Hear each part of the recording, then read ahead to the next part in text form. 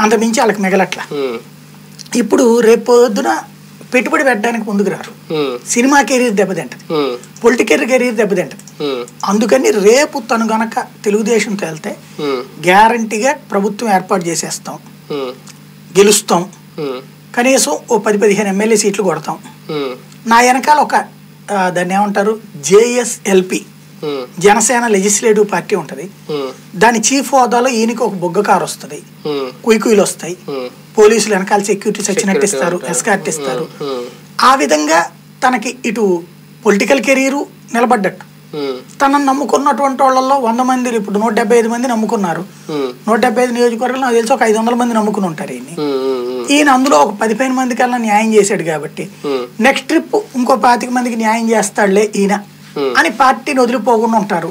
అవును. అనేది పవన్ కళ్యాణ్ కాన్సెప్ట్. నారా లోకేష్ గారి యోగలం పాదయాత్ర రెండు వందల రోజులు పూర్తి చేసుకుంది ఈ వారంలో. ఒక రకంగా ఆ పాదయాత్రలతో తెలుగుదేశం పార్టీ బలం గతంతో పోలిస్తే పెరిగిందా? ఎంతవరకు ఓటింగ్ శాతాన్ని వచ్చే అవకాశం ఉంది దానివల్ల?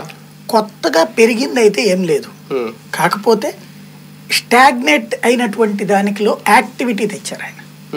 అంటే ఓ రకంగా స్తంభించిపోయింది తెలుగుదేశం వ్యవస్థ.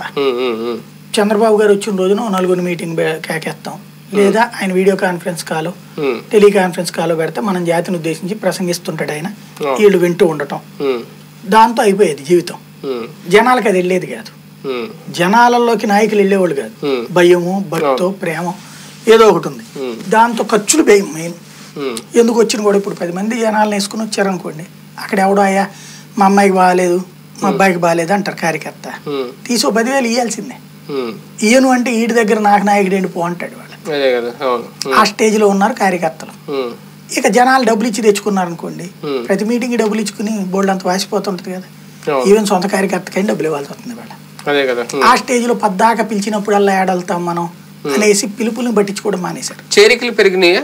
పాదయాత్రలో? ఏ పెద్ద చేరికలు ఏమున్నాయండి. ఉమ్, అద్భుతమైన నాయకుల చేరికలు ఏముంది యా, మనం వీళ్ళు ఆల్రెడీ పోయిన వాళ్ళే పోయిన వాళ్ళని చేర్చుకోవడం తప్పించి కొత్తగా ఎవరు మారి వచ్చేసారు